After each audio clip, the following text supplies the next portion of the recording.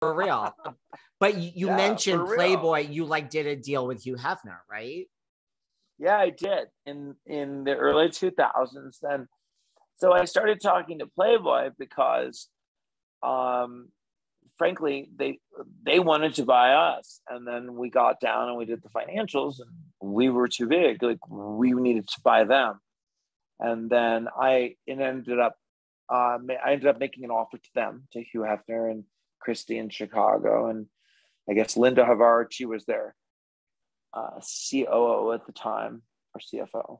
Um, and then um, ultimately, he didn't want to sell to me. So I couldn't close the deal of buying it. And he was pretty pissed off that we were so much bigger than him when he saw the numbers. So then I ended up buying the home video division. And then and another ruse, I pretended like I didn't own that either. So then I'd go out in LA and they'd be like, oh my God, you see those commercials for Playboy? They're really coming after you. and I would be like, oh, they're really coming after me. I owned it too. I owned everything.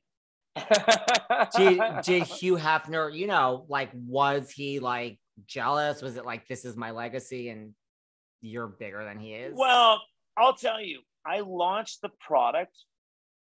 I filmed it at his house because it was Playboy. Man- The first one with him was Playboy Mansion Parties Uncensored, and then we did Playboy's casting calls next, and we did.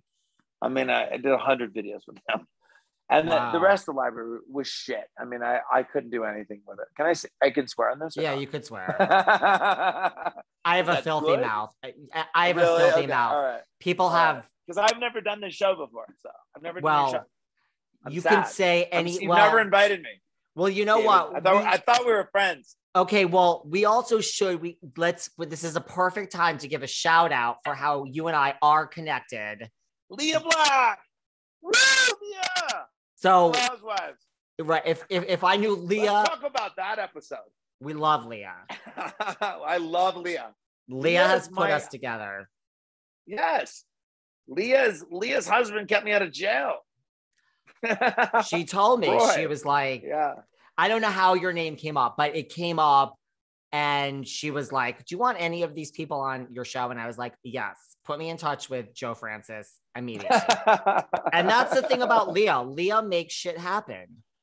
Oh yeah. She does. She does not fuck around.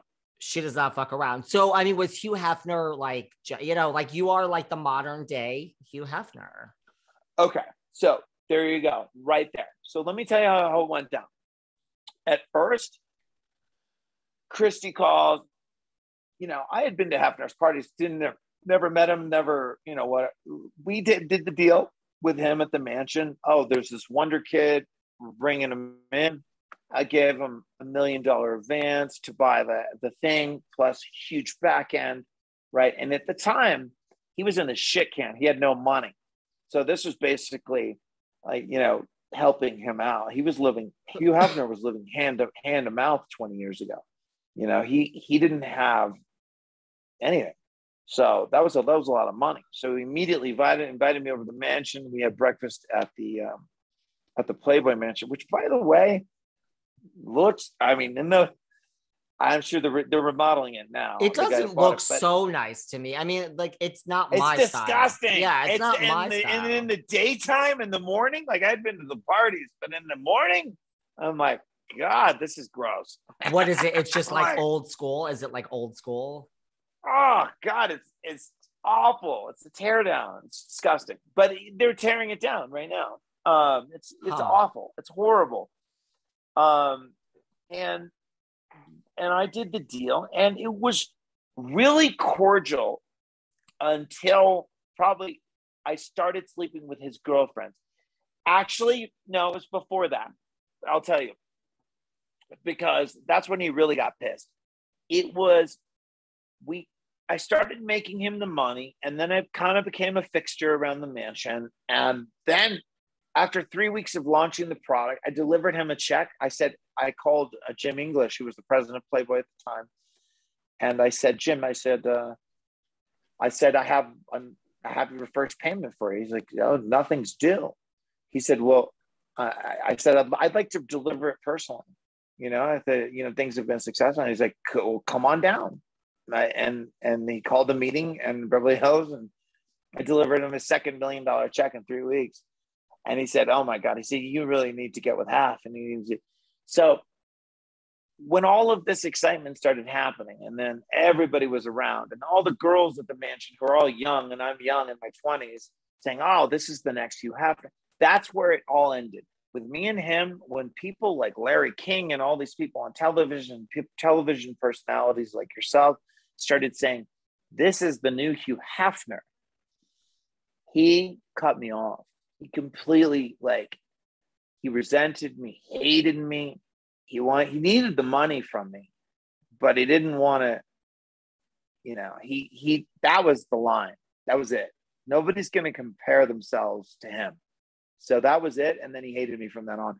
Well, and then his girlfriends, and then who weren't really girlfriends. They had like a curfew and a payment. They were kind of, you know, working. And, but I only lived you know, six minute drive from his house. So my drivers had to have them in bed back at the mansion, then down to a wire about taking them out and bringing them back for curfew. So they had to be in bed and in the mansion at a certain time. But they were all at my house in my pool before that. Did you so sleep with like, like Holly, did you sleep with like Holly Madison or any of the ones that we know from like the girls next door on E? I a couple I slept with two like can I I always get in trouble when I talk about girls I sleep with. I think that's bad. You but do? did I sleep with two of the girls next door? Yes, I did. Kendra Wilkinson. will I tell you which two, David? Two of the girls next door? I will not tell you. But you slept with two of them. I don't think there's anything wrong with you. You, you always get in trouble when you say who you slept with, really?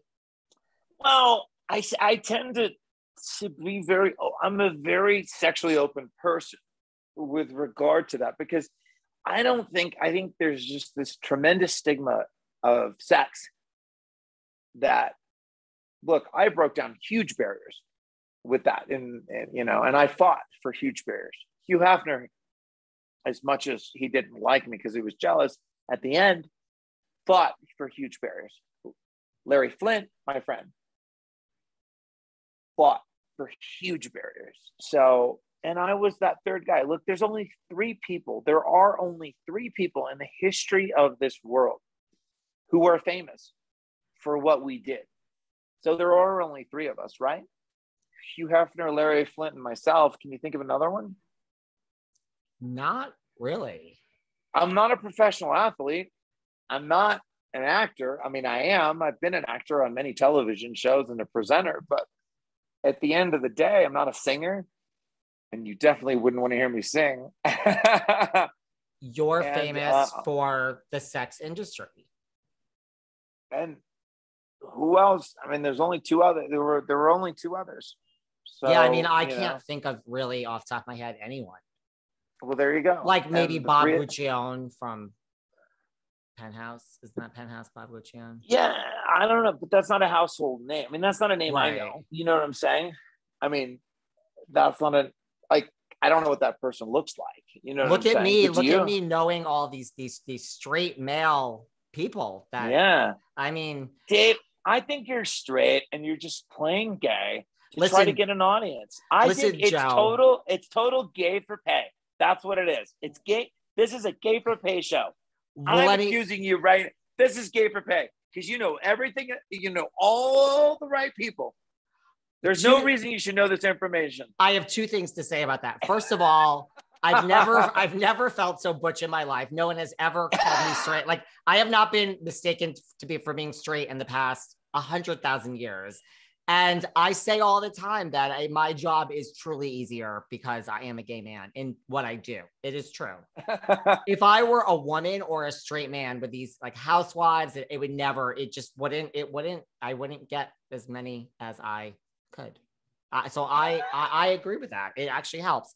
But I am gay. But I am gay. I can tell you that. But no, but there is this big stigma with the sex industry still, right? Like, why? I mean, do, or do you think it's come really far? Or do you think there's still this huge stigma? Oh my God, they were putting me in jail 20 years ago. Now look at the internet. Of course, I brought it very far. Look, I always told people 20 years ago, I said,